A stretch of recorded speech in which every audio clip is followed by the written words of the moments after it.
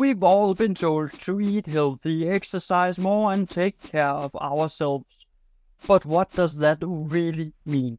As nurses, we are often the ones tasked with answering this question. And here's the uncomfortable truth. Communicating what is truly healthy isn't as simple as it seems. So how do we get the message across in a way that sticks? Let's start with the basics. As nurses, we are on the front line of healthcare. We are the ones patients turn to for advice on how to live healthier lives. But here's the problem. Health advice can be overwhelming, confusing, and often contradictory. One day we are told that fat is the enemy, the next it's sugar. We hear that we should exercise every day, but then we are told not to overdo it. Even something as simple as hydration. Should you drink 8 glasses of water a day or just when you're thirsty? Honestly, I don't know anymore. There's so much noise out there and patients are understandably confused. So how do we as nurses cut through the noise and communicate what is truly healthy? First, we have to acknowledge that health isn't a one-size-fits-all concept. What's healthy for one person might not be the best for another. This is where it gets tricky. As healthcare professionals, we need to tailor our advice to the individual's needs, lifestyle, and medical history, and while making sure the message is clear and actionable. The first step is to meet people where they are. It is only too often we throw out rot recommendations like eat more vegetables or get more exercise without taking into account where our patients are starting. If someone is used to eating fast food every day, telling them to switch to a plant-based diet overnight is setting them up for failure. Instead, we need to ask questions and listen. What's their current routine? What small manageable changes can we make right now? And when I say we, I mean that they should make it, but with our support because health is about progress, not perfection. And I have a great theory for understanding your patient, but we'll come at the end. Let's get back to getting the point across, because take nutrition, for example. We all know that a balanced diet is crucial for good health. But how do we explain that without overwhelming the patient with too much information? I don't get it. I don't know what to do. The key is to simplify without oversimplifying. Instead of talking about macronutrients, calorie counting, we can focus on the principles that make sense in everyday life. Eat a variety of whole foods. Focus on color, more fruits and vegetables, fewer processed snacks, and most importantly, explain why these choices matters. When people understand the why behind healthy eating, how it fuels their body, prevent disease, and boost their energy levels, they are more likely to make a lasting change.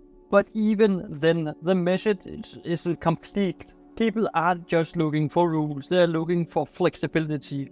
One of the most damaging aspects of health advice today is the all or nothing mindset.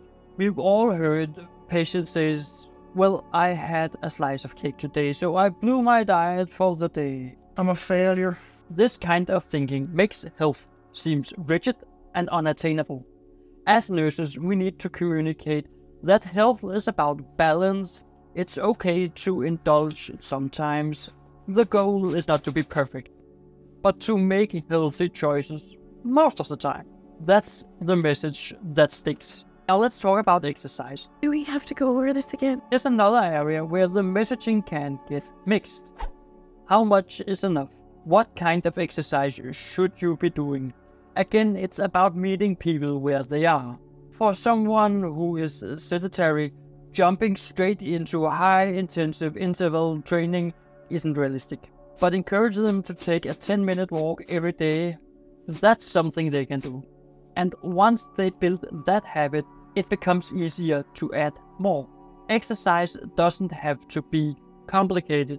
Moving your body in any way that feels good is the key to long-term health. But here's the other side of the coin. We need to avoid making people feel guilty about not doing enough. Health advice can sometimes sound like a list of things people aren't doing. You are not eating enough vegetables, you are not exercising enough, you are not getting enough sleep. Instead, we need to focus on positive reinforcement. Celebrating the small wins. Did you go for a walk three times this week when they hadn't exercised at all before? That's a success. And it should be treated as such. By reinforcing positive behaviors, we make health feels attainable. And speaking of sleep, this is one area where communication often falls short. We know that sleep is just as important as diet and exercise, but how often do we really emphasize it in healthcare? Many patients don't realize the profound effect that lack of sleep can have on their overall health. As nurses, we can help them understand that sleep is the body's way of repairing itself. It's affecting everything mental health, weight management, immune function, but we also need to be realistic. Not everyone can get 8 hours of sleep every night, especially if they're juggling work, family, and other responsibilities. So, how do we communicate the importance of sleep without making them feel like it's another impossible goal? It's not impossible. It is impossible for If a patient is only getting 5 hours of sleep at night, telling them to jump to 8 isn't going to work. But could they get 30 minutes more? Could they start winding down earlier, turning off screens before bed, or creating a more restful sleep environment? By focusing on small, attainable steps, we can help patients to improve their sleep without making it feel like an overwhelming task. And here's another curveball to throw it all out the window. Health isn't just about the physical, it's also about the mental and emotional well being. This is an area where communication is absolutely critical, and often it's where we as healthcare providers can make the biggest impact. Stress, anxiety, depression are just as damaging to health as poor diet and lack of exercise, but they are often overlooked in traditional health conversations. Patients may not realize how much their mental health is affecting their physical health, and vice versa. As nurses, we need to create spaces where patients feel comfortable talking about mental health.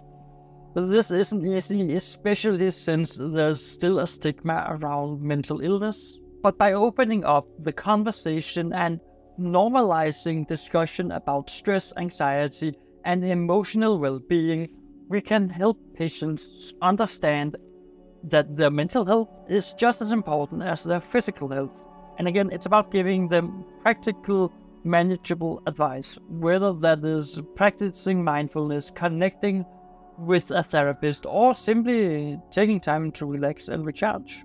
And there's another layer to this social and environmental factors that influence health. Not everyone has access to fresh, healthy food or a safe place to exercise. Some patients are dealing with chronic stress from financial issues, unsafe living conditions, or lack of social support. As nurses, we need to recognize these barriers and communicate health advice in a way that is realistic and compassionate. Telling someone to just eat more vegetables when they live in a food desert isn't helpful. Instead, we need to work with them to find a solution that fits their circumstances whether that's connecting them with local resources, helping them to find affordable options, or simply acknowledging the challenge they face. And one of the most important aspects of communicating what's healthy is building trust. Patients need to know we're not just reciting generic advice. They need to feel that we are genuinely invested in their well being. This means taking the time to listen and to understand their unique challenges and providing a personalized advice that fits into their lives. It's about being honest, but also compassionate. We can't just tell people what to do.